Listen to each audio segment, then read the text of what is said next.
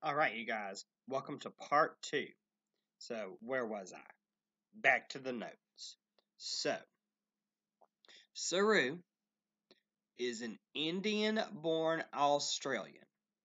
That is because he was born in India, but he was adopted at such a young age by an Australian couple that now he is an Australian. And while he was living in there, of course, so at the age of five, he was speaking Hindu. And then he spent 25 years in Australia. So he totally forgot how to speak Hindu because they speak Australian, which is pretty much English.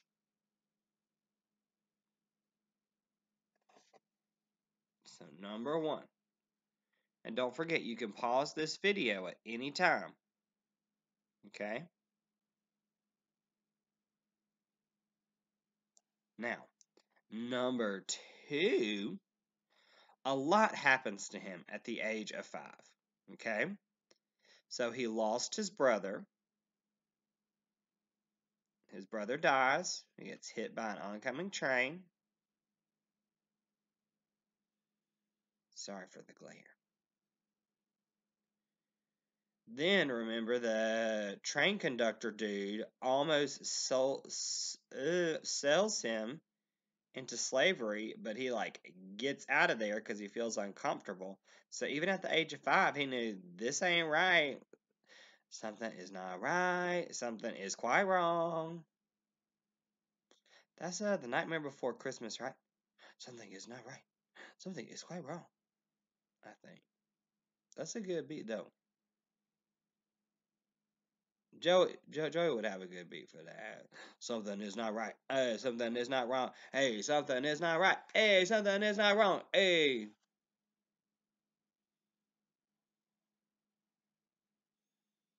Y'all know, I know some of y'all already beating on the table. I know you guys.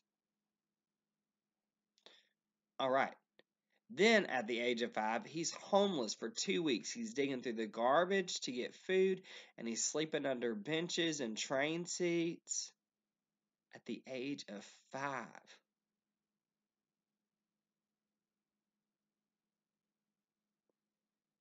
So then the teenager takes him to the police station and they register him and put him into like an adoption place and he is adopted by a nice little Australian couple. And then he grows up and he meets his bio mom 25 years later. Now, fun story, or fun fact, not a story. There is a 2016 movie about this book called Lion. I have not seen the movie, although I am quite intrigued, so I may try to find it this weekend and watch it. Because if it's anything like the book, it's going to be a killer. And Nicole Kidman supposedly plays the mom, the Australian mom who adopts him. And you know, Nicole Kidman, you can't go wrong. So that's what I'm thinking. So those are just some fun facts that I wanted for you guys.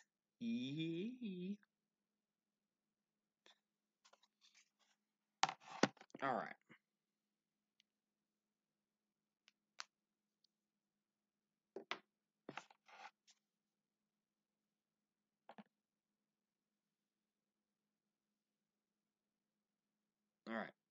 You guys good? You guys feel good? All right. So, the reason that I wanted to give you some background is because the part of the story that we're coming in on, our excerpt, is actually when he gets to college.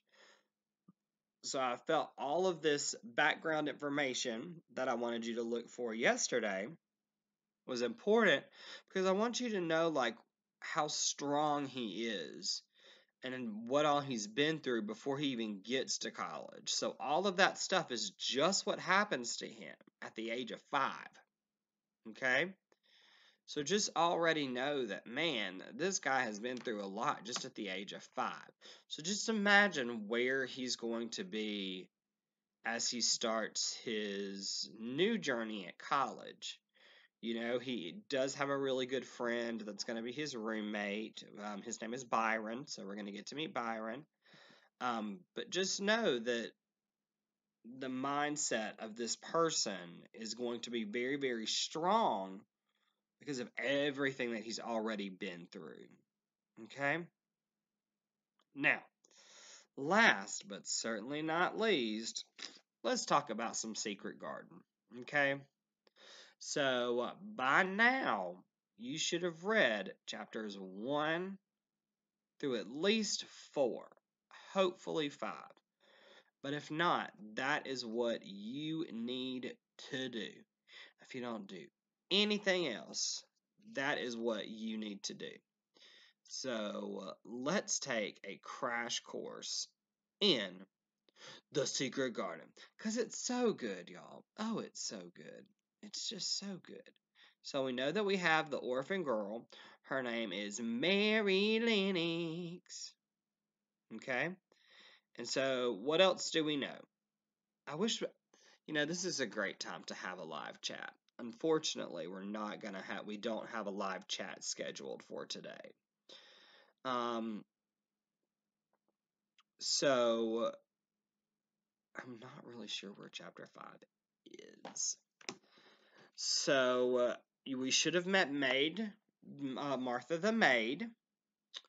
Um, when you meet Martha, you should really like her. So I want you to pay close attention to Martha and Mary and the uncle, Uncle Archibald. Okay. Here we go. I'm going to write those names down for you because I feel like those are those are the important ones, okay? So as you're reading, I want you to write down what you think about them. Okay?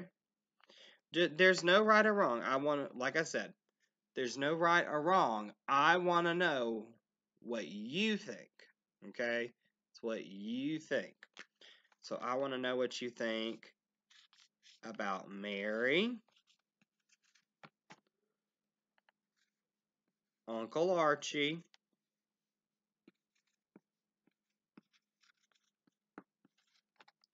Martha, and Ben. We'll meet the others later. But these are the characters you should have met so far. Okay? So just mark just make a little note about what you think of them because I want to talk about them a little more on Monday. Okay? So you have this weekend. I won't be making videos this weekend. I know, ooh, you're so excited. Oh.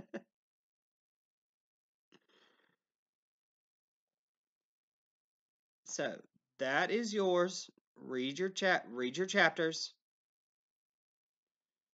I want you to read. I want you to tell me what you think about Mary and Uncle Archie if you've met him yet.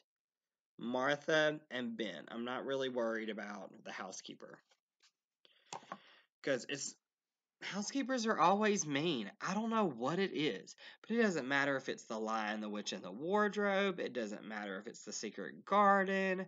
I feel like every book where there is a housekeeper, they are just mean. They're just mean.